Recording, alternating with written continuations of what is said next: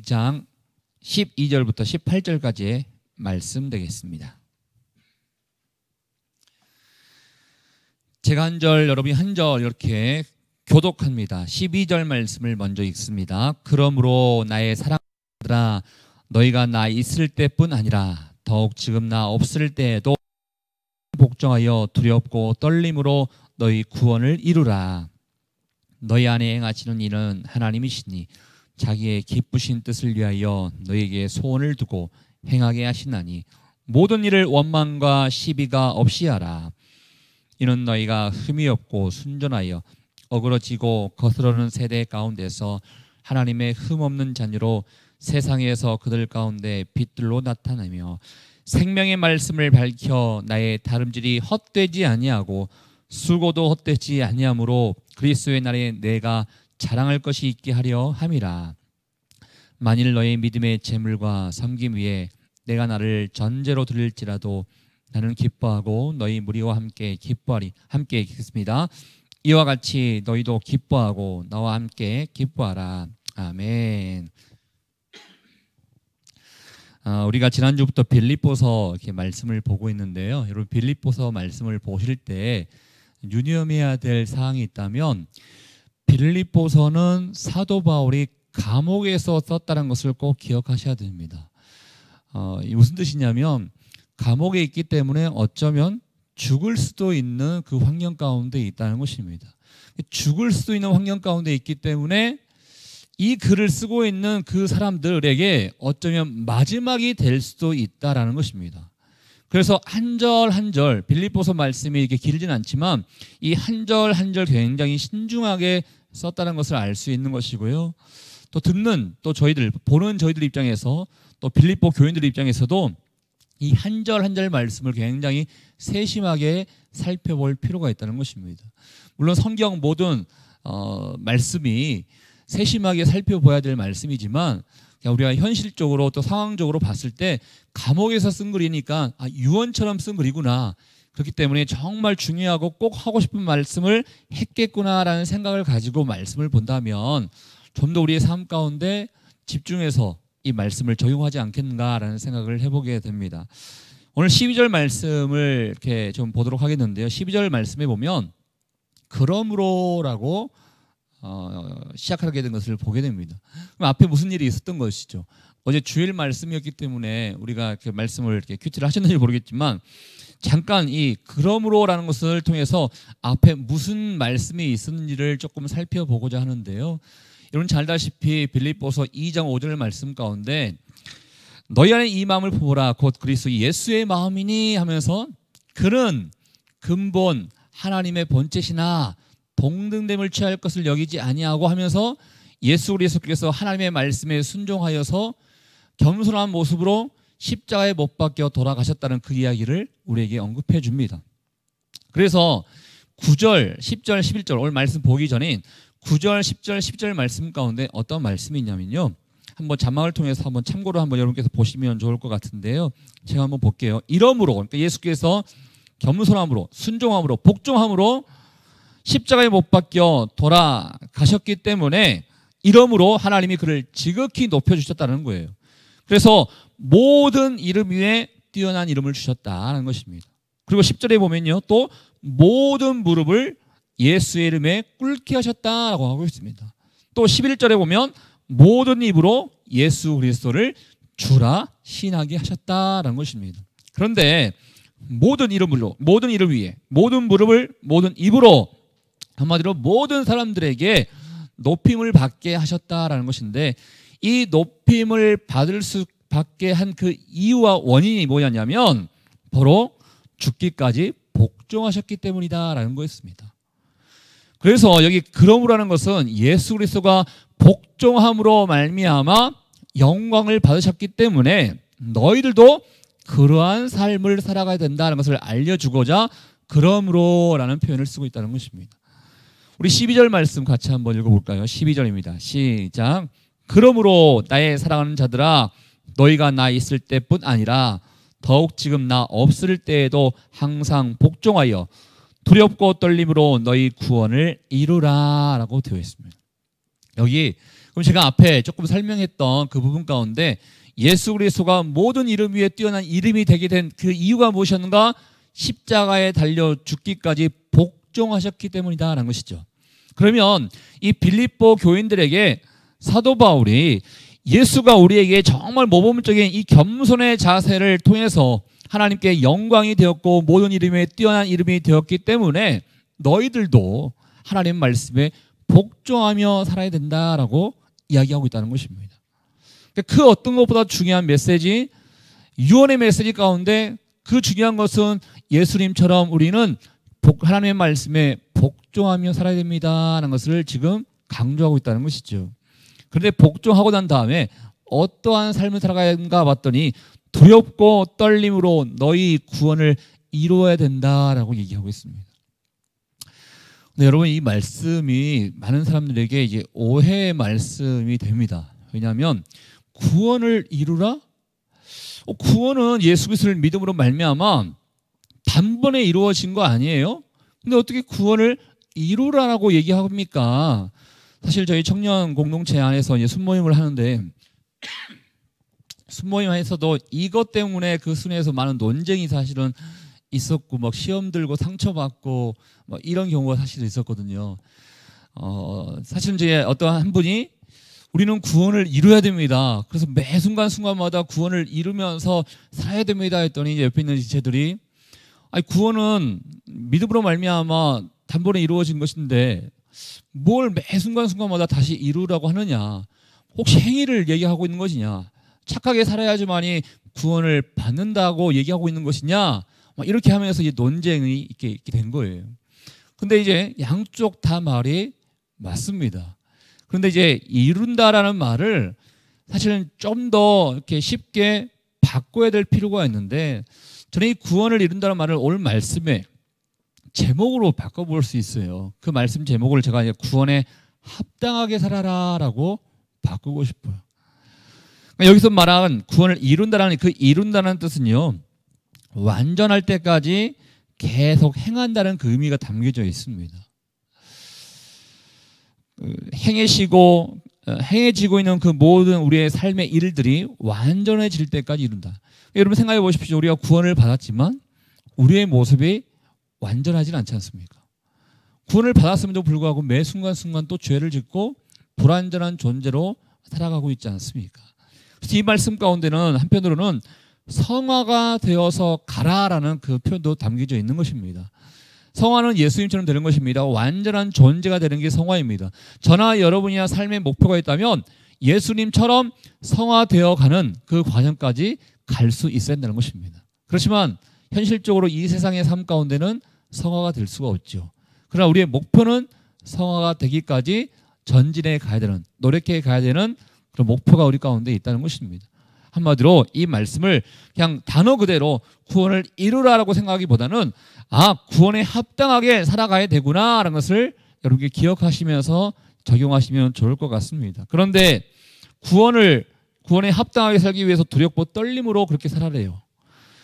왜 두렵고 떨림으로 살아야 되는가? 저나 여러분이나 쉽게 넘어질 수 있기 때문인 것입니다.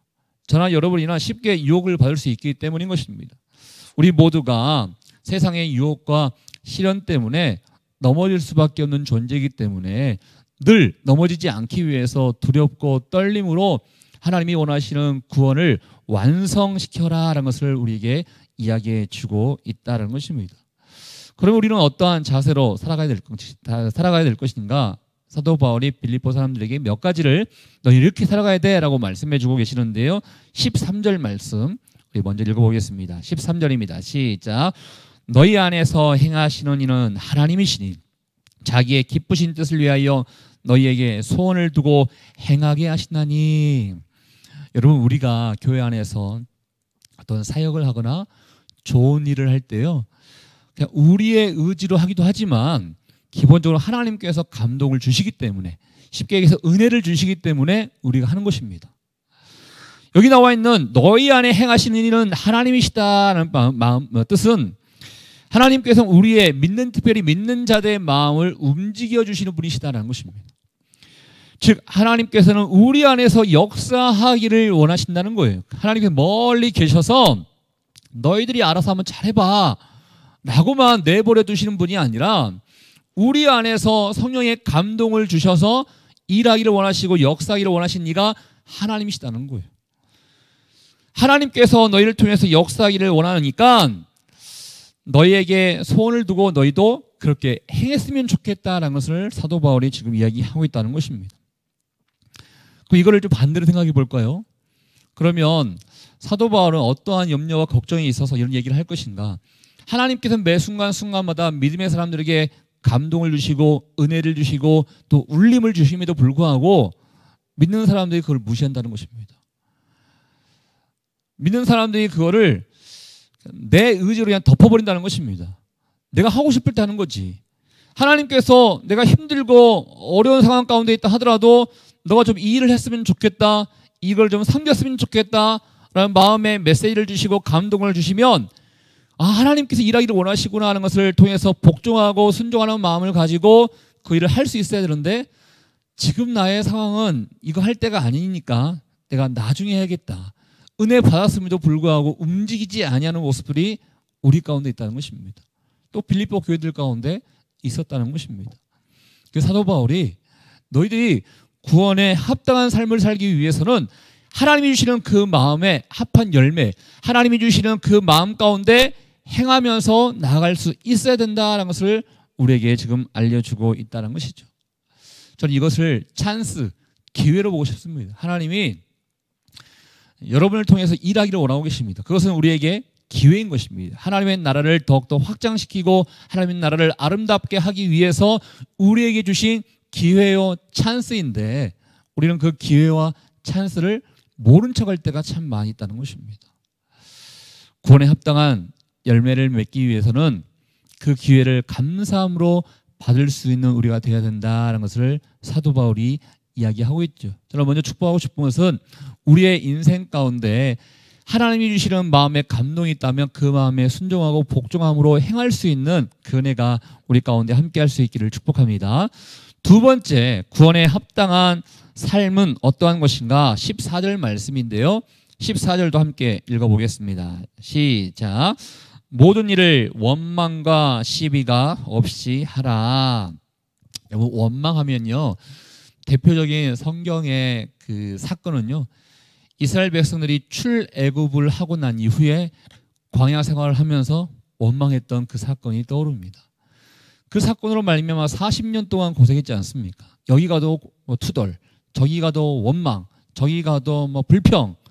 이것 때문에 사실은 40년 동안 고생하다가 40년 만에 가나안 땅에 들어가지 않았습니까? 하나님께서 이스라엘 백성들의 그런 안 좋은 모습을 통해서 지금 우리에게 원하는 것은 이 세상 가운데 믿음의 삶을 살고자 한다면 원망과 시비를 해서는 안 된다라고 얘기하고 있습니다. 이 원망이라는 것은 제가 방금 얘기했던 것처럼 투덜대고 불평하고 비난하고 험담하는 것을 얘기해요. 또 이 시비라는 것은요. 뭐 논쟁하거나 또 의심 의심의 표현을 하는 것을 또 시비로 얘기하고 있어요. 근데 이 두 개의 차이점을 구별해 봐라 그러면요. 원망은 조용히 하는 것입니다.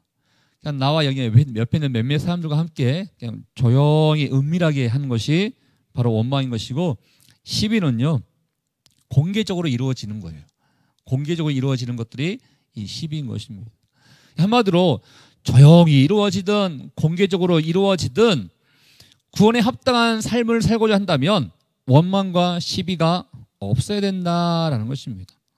근데 생각해 보세요. 원망과 시비가 없어지지 않고 계속 이루어진다고 생각해 보세요. 그러면 단지 원망과 시비가 더 확대되어서 분열과 어, 분쟁이 아마 그 공동체 가운데 있게 될 것입니다.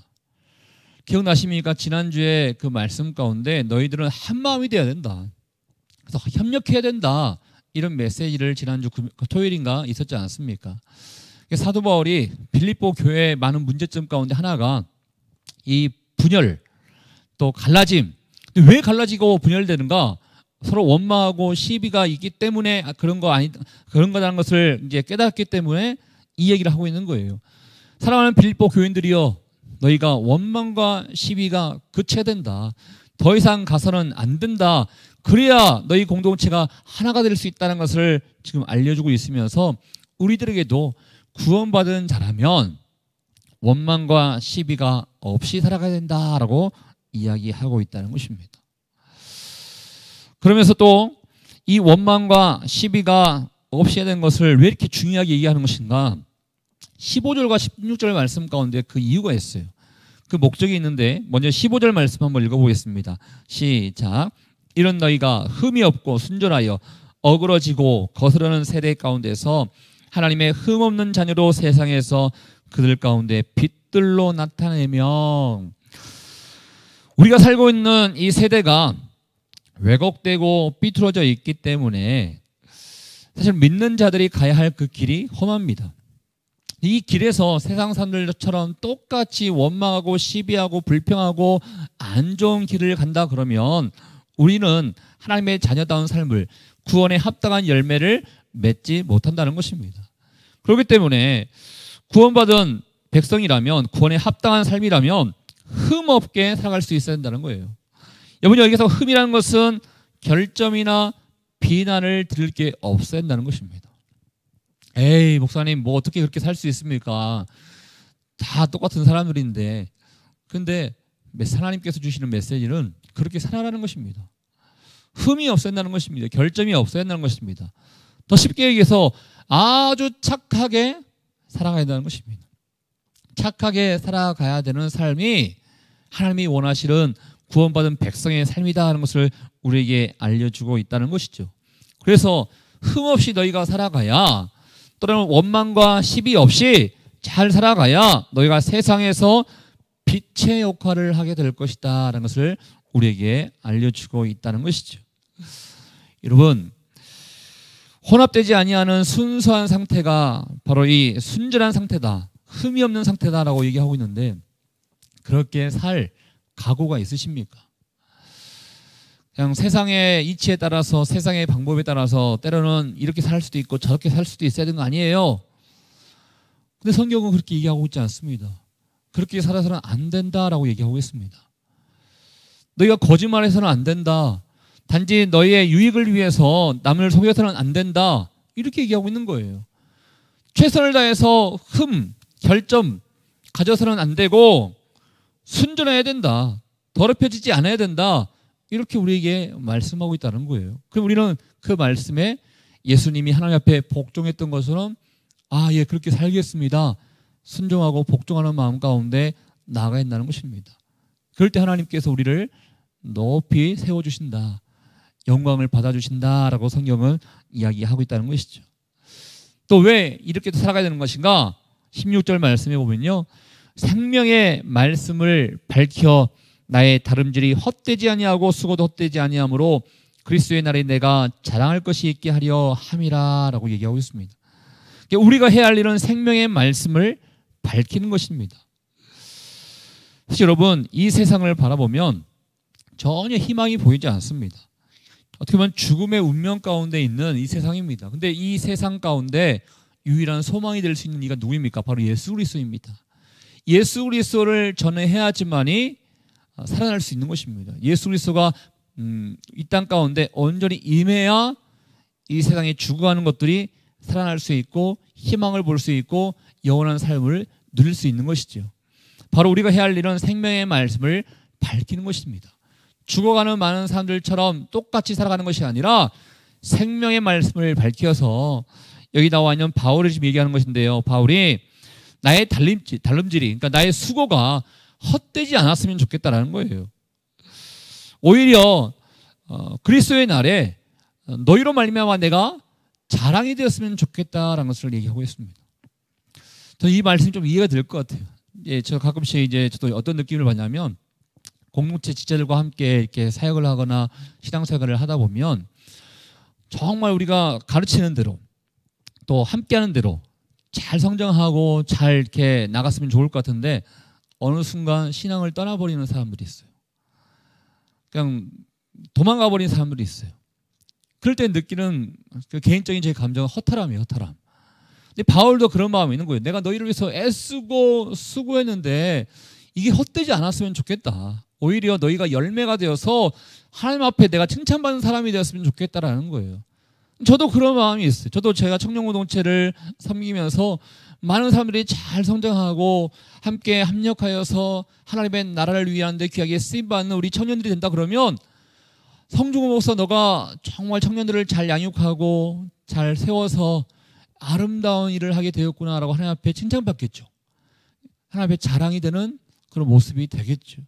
사도 바울이 너희가 이 세상에 속해서 세상 사람들처럼 뭐 흠이 있거나 결점이 있거나 그렇게 살지 말고 생명의 말씀을 밝혀서 정말 나의 수고가 헛되지 않고 우리 주님께 자랑할 것이 있게 되면 좋겠다라는 것을 이야기하고 있다는 것입니다.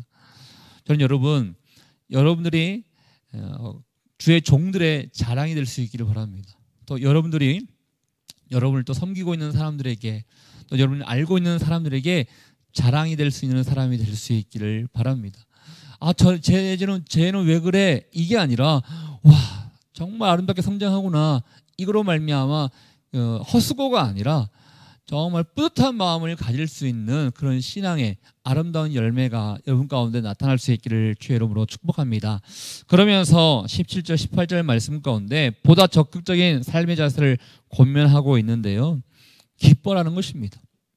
특별히 사도 바울이 17절 말씀 한번 자막을 통해서 보시면요. 내가 나를 전제로 드릴지라도 여기 전제라는 것은 생명의 삶을 가지고 계신 분들은 이 밑에 부분에 나와 있어요. 재단 위에 올려놓고 불사르기 전에 포도주를 부는 의식이 있는데 한마디로 어, 사도 바울이 내가 재물이 되겠다는 거예요. 내가 너희에게 재물이 된다 하더라도 나는 기뻐할 것이다. 내가 너희를 위해서 아낌없이 헌신한다 하더라도 나는 기뻐할 것이다. 이 얘기를 하고 있는 것처럼 너희도 너희 삶 가운데 이 기쁨이 넘쳤으면 좋겠다. 너희 자신만을 살아가는 것이 아니라 헌신하고 수고하고 한 마음을 되는데 이루는 데 있어서 너희가 기꺼이 헌신한다 하더라도 기뻐하는 삶이 됐으면 좋겠다라고 우리에게 이야기해 주고 있다는 것입니다. 그런 삶이 바로 구원에 합당한 삶을 살아가는 삶이다라는 것을 우리에게 알려주고 있죠. 사랑 여러분, 여러분들은 어떻게 살기를 원하십니까? 저나 여러분이나 다 구원받은 자들인데요. 구원받은 자들로서 이 세상 가운데 어떻게 살아가는 것이 하나님이 원하시는 것인지를 우리는 생각하면서 살아가야 됩니다. 오늘 하나님이 주시는 그 마음의 울림이 있으십니까? 또 여러분이 말씀하다 말씀을 보시다가 기도하시다가 하나님이 주시는 그 메시지가 있, 있 습니까 그러면 순종하셔야 됩니다. 그렇게 살아가야 됩니다. 원망과 시비가 그쳐야 되는 것이고 이 세상 가운데 흠 없이 살아갈 수 있도록 노력하셔야 되며 무엇보다도 헌신의 그런 삶이 기쁨의 삶이 될 수 있어야 된다는 것을 우리에게 알려주고 있습니다. 오늘 말씀을 통해서 다시 한번 주님 내가 합당한 구원에 합당한 그런 삶을 살겠습니다. 이 고백을 주 앞에 드리며 오늘 하루도 승리할 수 있기를 주의 이름으로 축복합니다.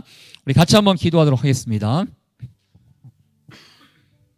이 시간에 기도할 때 먼저 주님께 감사하십시오. 하나님 나를 구원해 주셔서 고맙습니다라고 마음에 감사의 표현을 주 앞에 했으면 좋겠습니다. 그리고 나서 하나님 구원받은 자로서 합당한 삶을 살아가기를 원합니다라고 주님 앞에 간구하십시오. 어, 구원에 합당한 그런 삶은 성경 말씀을 통해서 다양하게 우리에게 소개해 주고 있지만 특별히 빌립보서 2장 말씀을 통해서 우리에게 먼저는 하나님이 우리의 마음 가운데 하시고자 하는 그 일이 있다면 순종하고 복종해야 된다라고 얘기하고 있습니다. 그리고 내 마음에 들지 아니하는 부분이 있다 하더라도 원망과 시비가 그쳐야 된다라고 또 얘기하고 있죠. 더 나아가서 이 더럽고 추악한 이 세상 가운데 흠없이 살아가고 순전하게 살아갈 수 있어야 된다라고 또 우리에게 말씀해 주고 있습니다. 이 모든 것들은 다 예수 그리스도가 먼저 우리에게 본이 되어 주셨고 그런 삶을 살아가심으로 말미암아 하나님이 그를 높여 주셨고 영광을 받아 주셨다는 것을 우리에게 또 먼저 보여 주셨습니다. 하나님 구원에 합당한 열매를 맺고 살아가는 오늘 하루가 될 수 있기를 원합니다. 우리의 또 일평생 삶이 될 수 있기를 원하오니 더욱더 깨어서 말씀 안에 거하게 하시고 더욱더 하루하루 최선을 다하며 하나님의 기쁨이 되는 인생 될 수 있도록 주님 인도하여 주시옵소서. 우리 같이 한번 여러분 자신을 위해서 여러분의 삶을 위해서 함께 기도하도록 하겠습니다. 하나님 아버지 감사합니다. 오늘 우리와 함께 해 주심에 주님 감사합니다. 우리에게 구원이라는 놀라운 선물을 주시는 하나님 아버지 우리가 구원에 합당한 그런 삶을 살고자 다시 한번 마음 가운데 하나님의 마음을 생각해 보게 됩니다. 하나님 예수 그리스도께서 십자가에 복종하고 순종하심으로 말미암아 하나님께서 세워 주셨고 모든 이름 위에 뛰어난 이름을 주신 것처럼 어떤 어려움이 있다 하더라도 주님 앞에 순종하고 복종하여 하나님의 영광을 돌리는 삶이 될 수 있기를 원합니다. 더욱더 구원을 이루는 삶이 될 수 있기를 원하오니 주님 우리 마음 가운데 함께 하실 때 아멘 아멘 할 수 있는 우리가 될 수 있도록 인도하여 주시옵소서 우리 안에 모든 시기와 원망이 다 끊어질 수 있기를 원합니다.